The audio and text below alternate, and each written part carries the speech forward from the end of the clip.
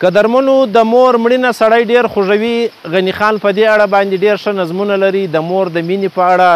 کله چې د مور جسد په خاره کې ویني یا یې قبر ویني په دې اړه باندې هم د خپلو رایو اظهار کړی دی د خپلو خیالاتو او جذباتو اظهار یې کړی دی ډیر خوند یې په کړی دی زما په خپله نوې نوې مور مړه شوې ده زه ډیر خوږیږم دا یو داسې پېښه راسوې ده چې زما زړه ته نه لوېږي.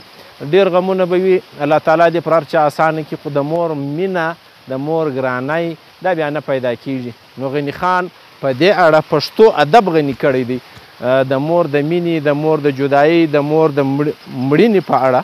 د ده په کلیات کې ډېر ښایسته نظمونه شته، زه یې له تاسو سره شریکوم، د چا چې مور ژوندۍ ده هغه دې خدمت کوي او د چا چې مور مړه ده هغه دې الله تعالی وبخښي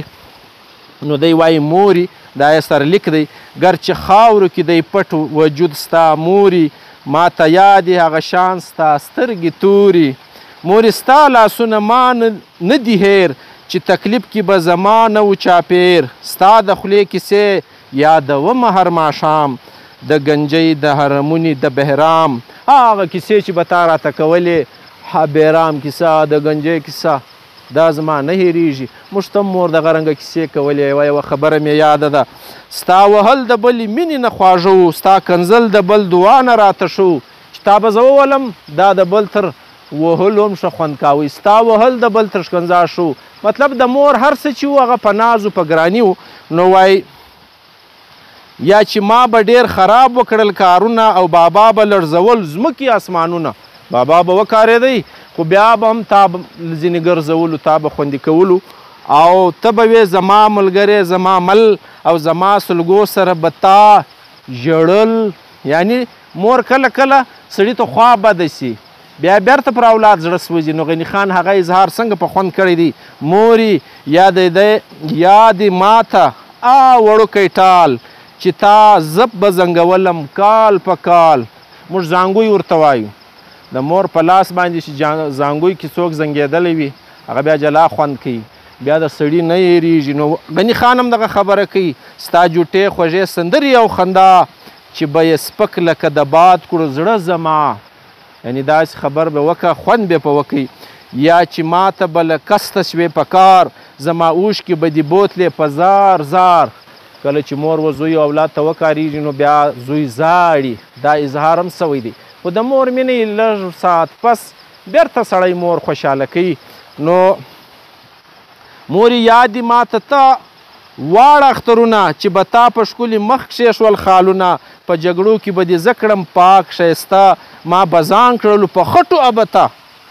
ځان چې بم خرن کړي سره ګډ وډ به سوم بیرته به تا صفا کم په اخترونو کې چې به تا ځان سنګاراوي د مور دغه روزې زموږ هم نه یریږي مور به لګیا وه په موږ باندې صفا کولو به ښایسته کولو به دغه رنګه به دې هم کله کله یو خال ږدلی یو سترګي بې تورولې رانجه باندې نو دا زما هم نه یریږي ما در ټول زموږ هم نوینه مور مړه ده نو ځکه ډېر په خوږېږو دی وایي تا به ووهلم بیا به دې کړم ښکل په خندا به دې زما کنځل زغمل ما ته یادې هغه شان ستا مسکۍ شونډې ما ته یادې هغه شان میلو ته منډې چې ماښام ته به ستړی کور ته راغلم زه ستا په غېږ کې به الله شوم په الله وبه شوم وده موري ماته ياده شپه ده يوه توره چي زما وجود و ګرم له سره اوره يوه ډيره توده شپه مي هم ياده ده په هغه کي بيا څه سوي دي زما سر کي و شغارس د جهازونو او غوږونه مي کاڼه په اوازونو زما هر موري ته تا به وې قربان ما بول موري تا بول قربان ما بول موري تا بول قربان نو يې واوري زما هر موري ته تا به وې قربان زما هر ويی ته به تا کاوه ګريان مورې ماته يوه بله ورځ د ياده چې زموږ کور لړزيدلو له فرياده و ډيريخ شان ستا تاوده لاس نازنين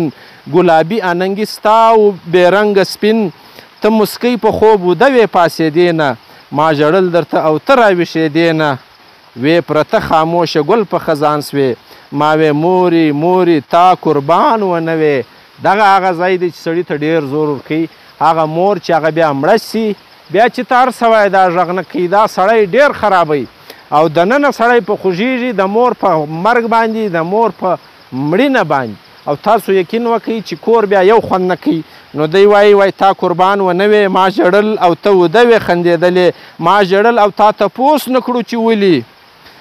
ګر چه خاورو کې دی پټ وجود ستا موري ما ته یادي هغه شان ستا سترګې توري په لندن کې دا نظم لیکلی دی نو دا خبره داسې ده چې د مور دغه مینه دغه بیا چې تر خاورو لاندې سي دا سړی ډیر خوږی غنی خان د مور په اړه ډیر نظمونه لري غنی خان ډیر ښه شاعر دی زموږ په ادب کې غنی خان ډیر څه وموږ ته ایښي دي غنی خان چې کم شعرونه وړاندې کړي دي نو له مور څخه د جدایي په اړه هم د مور د مړینې په اړه هم هر څه یو موږ ته صفا ایښي دي. د غني خان روح دې هم ښاد وي، زما او د ده مور دې هم الله تعالی وبخښي. زما هغه ټول ملګري او دوستان چې ما ویني لیا مې اوري چې مندې یې مړې دي هغه دې ټول الله تعالی وبخښي روحونه یې ښاد غواړم په جنت کې یې غواړم ځایونه ورته او کومې چې ژوندی دي د هغه دې خپل خدمت وسي ښه دې خدمت وسي ازار دې څوک نه ځینه اخي د مور ازار چې دی هغه سړی په دې جهان لیا ذلیله کوي هلته خو بیا ډېر حسابونه وي نو دلې هم سړی ذلیله کوي نو د غني خان دغه نظم چې دی د مور د مړینې په اړه چې بیا ته له ما جلا سوې ستا ګرانی نه و تا زه نه ونازولم تا له ما پوښتنه نه وکړه